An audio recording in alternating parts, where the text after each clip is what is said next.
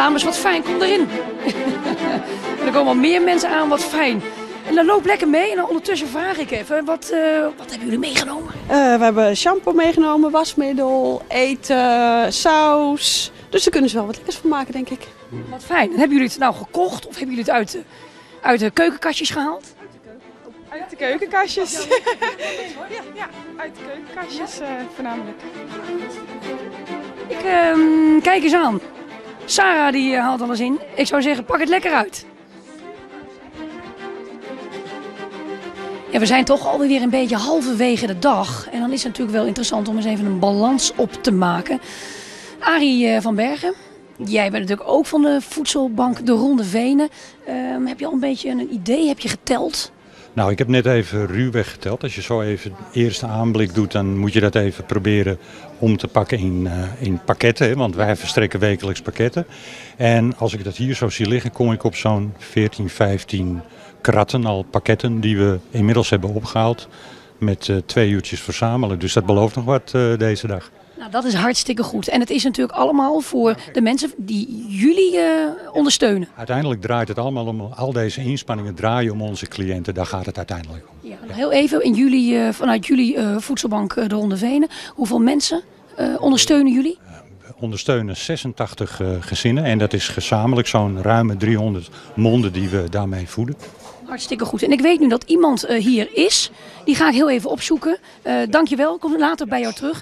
Want uh, een cliënt die zei bijvoorbeeld ondersteunen, weet ik dat hij hier staat. Dat is Roland. Roland Tames. Ja? hey, wat fijn dat je hier bent. Um, jij wordt bijvoorbeeld, of bijvoorbeeld, nee, jij wordt ondersteund door de Voedselbank de Ronde Venen. Um, um, ja, hoe ben jij in zo'n situatie terechtgekomen? Mogen wij dat weten? Ja, dat mag je absoluut weten. Ik uh, ben in uh, 2010 uh, ben ik begonnen met mijn eigen bedrijf. En door toedoen van ja, allerlei financiële narigheden ben ik als gezin zijnde in de schuldsanering terechtgekomen. we konden het echt niet meer redden. En toen werd ons ook geadviseerd van nou, ga eens bij de voedselbank kijken. En nou, dat is nu twee, tweeënhalf jaar geleden is dat gebeurd bij de, bij de voedselbank in Meidrecht. Toen nog op de oude locatie vlakbij een bouwmarkt. En, uh, en nu zitten we op een andere locatie op een school in Meidrecht. En ja, daar is het ook hartstikke leuk en gezellig. Ja. En dat is natuurlijk wel even, die situatie, dat is natuurlijk heel vervelend dat je daarin terechtkomt. Uiteindelijk willen ze natuurlijk wel weer dat je probeert weer op eigen benen te staan, zeg maar. Ja. Hoe, hoe gaat het nu op dit moment met je, met jullie, met jouw gezin? Nou, we zitten nog steeds in die, in die schuldsanering. Uh, wij zijn uh, als gezin zijn, zijn we naar de gemeente toegestapt uh, omdat we hulp nodig hadden met onze financiële dingen. En daar zijn we bij de schuldhulpverlening terechtgekomen. En dat is nu inmiddels bijna drie jaar geleden. in mei is dat drie jaar geleden. En uiteindelijk kom je er, sinds vorige maand ben ik erachter gekomen dat we eigenlijk helemaal niet geholpen zijn. Oh, wat erg. Het is helemaal niet zo'n nee, goed verhaal dit. Nee, totaal niet. Want, uh, en dat heeft helemaal niks met de voedselbank te maken. Want het heeft meer met de schuldhulpverlening te maken. En daar ben ik heel erg boos over geworden. En uh, nou ja, met toeters en bellen allemaal erop en eraan. En daar wordt nu wel werk van gemaakt. Maar sinds vorige week uh, krijgen wij pas te horen van dat er nu daadwerkelijk iets aan die schuldhulp wordt gedaan. Ja. Wat, want dat is een beetje voor ons kijkers, misschien voor mij ook. Wat wordt er dan gedaan? Word je geholpen met financiën op een rij zetten en, en, en nou, betalingen? Ja. Nou, was het maar waar dat we geholpen worden met, ja, met de financiën. Ja. Maar dan begrijp ik dat dat, dat dat niet goed is gelopen. Maar laten we toch even vooruit kijken.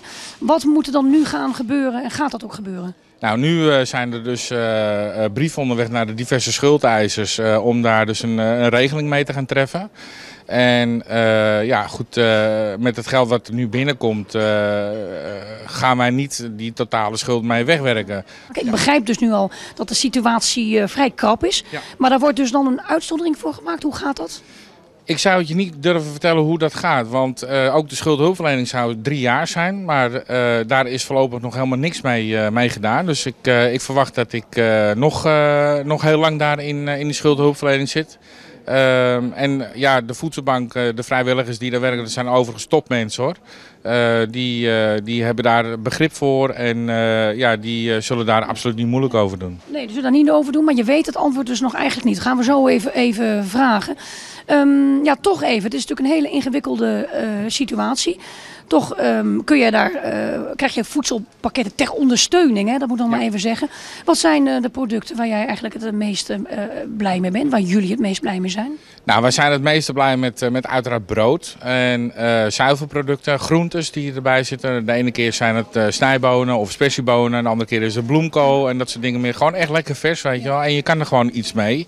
En, eh, en daar zijn we eigenlijk heel erg blij mee. Nog even heel duidelijk, misschien wel even fijn om naar, naar, de, naar de kijkers uit te leggen. Wij zijn hier bezig met de regionale omroepen voor houdbare producten in te zamelen. Die ook in, eh, opgeslagen worden. Maar de voedselbank regelt natuurlijk ook altijd verse producten. En dat is echt door de week. Dat is even los van deze Ja, actie. Ja. Deze, eh, de, de, de lang houdbare producten die, eh, die in blik zitten bijvoorbeeld, eh, eh, dat, daar, moet- dat, daar kunnen we ook heel erg lekker van, van eten maken. En of dat nou worstjes zijn of een blik met van die groentjes erin of wat dan ook, dat maakt allemaal niet uit. Het is gewoon goed en we zijn daar hartstikke blij mee als, als cliënt van de voedselbank. Ja, dat is in ieder geval fijn. Daarvoor zijn we natuurlijk bezig. En al die andere mensen. Ehm, en we verzamelen natuurlijk nu vandaag in voor Voedselbank eh, de Ronde Venen. En we horen dus van jou, Roland, dat het eh, hard nodig is. Dus ik zou zeggen, kom alsjeblieft deze kant op. Hengeveldstraat 29. Willem-Jan Ausma, wat fijn. Jij komt wat brengen voor ons. Ja, ik hoorde de oproep van Edo. Ik denk, eh, ja, advocaten wordt er genoemd. Dus eh, vandaar. Er was dus een oproep voor Edo. En die zei ook mensen met veel geld die moeten komen. Advocaten, notarissen. En jij dacht, nou, ik, ik ben de lulligste niet. Nou ja, of, of, of ik nou veel geld heb of niet, eh, daar gaat het dan even niet om. Maar ik, ik draag graag mijn steentje bij. Ja, wat ontzettend goed. Wat heb je meegenomen voor ons? Een fles alcoholvrije bubbels.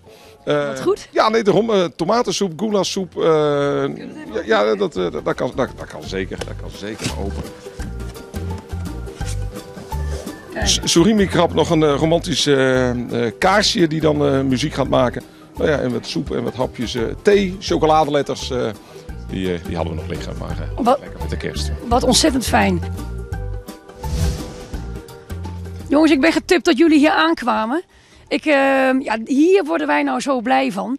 Ehm, een vrachtwagen vol. Joep, kijk even. Nog een hele pallet. Ja, dat is top zeg. Ehm, jullie zijn van... Nou, vertel maar. Eh, wij eh, bevoorraden de bedrijfskantine van RTV Utrecht elke dag. Ik voel hem. Ja, en eh, jullie lekkere lunch, hè? dat Ja. is eh, van onze producten. Trudy bereidt dat. En eh, ja, wij dachten, daar kunnen we natuurlijk niet achterblijven. En, en de lekkere lunch laten maken. Maar er moet natuurlijk ook wat voor de voedselbank gebeuren. Dus vandaar dat wij dachten, wij gaan kijken wat voor producten wij kunnen leveren. Niet voor jullie bedrijfsrestaurant, maar wel voor de voedselbank. Kijk, dat is een hartstikke goed initiatief.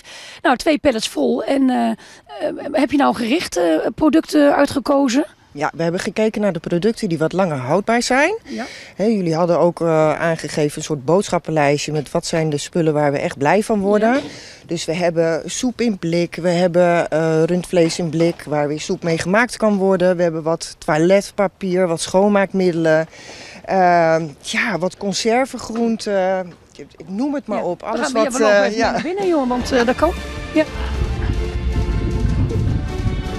Helemaal goed. Zo. Nou, zo lukt het wel. nou, jongens, ik vind het echt fantastisch. Ja, dit gaat. Dit, dit, ja, dit gaat. ja? Nou, wat fijn, hè? Zulke grote hoeveelheden, zo zien we het graag.